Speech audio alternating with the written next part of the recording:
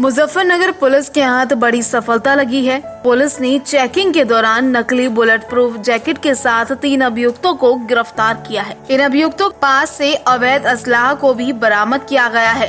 दरअसल पूरा मामला मुजफ्फरनगर के मीरापुर रोड का है। मुखबिर की सूचना पर पुलिस ने यहाँ तीन लोगों को गिरफ़्तार किया। पकड़े गए लोगों के पास से तीन बुलेट प्रूफ जैकेट, दो तमंचे बरामद किए गए हैं। पकड़े गए बदमाशों का कहना है कि वो चेन्नई से बुलेट प्रूफ जैकेट मंगाकर बड़े बदमाशों को सवा लाख रुपए में बेचते थे। इसके साथ ही बदमाशों ने ये भी खुलासा किया कि कुछ हथियार भी वो पहले ही बदमाशों को सप्लाई कर चुके हैं। पकड़े गए बदमाशों ने अपना नाम सुनील चंद्रा, मानसिंह श्याम किशन बताया है, जो मुजफ्फरनगर के ही निवासी है। तो कल पुलिस ने चेकिंग के दौरान लोग गिरफ़्तार किया। और गिरफ़्तार करने के बाद जब इनसे जानकारी गई तो उन्होंने बताया कि हमारे पास बोर्ड पर जैकेट बेचने काम करते हैं।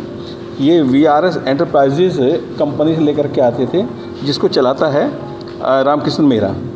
इनसे बात की गई तो रामकृष्ण मेहरा जो सुनील नाम का एक चेन्नई का व्यक्ति उससे खरीदता है पचास पचपन हज़ार रुपये में और यहाँ ला करके सवा लाख रुपये सवा लाख में बेचता है। मुजफ्फरनगर पुलिस लाइन स्थित एसपी देहात नेपाल सिंह ने प्रेस वार्ता करके इस पूरे मामले का खुलासा किया है। मुजफ्फरनगर से आदेश सैनी की रिपोर्ट।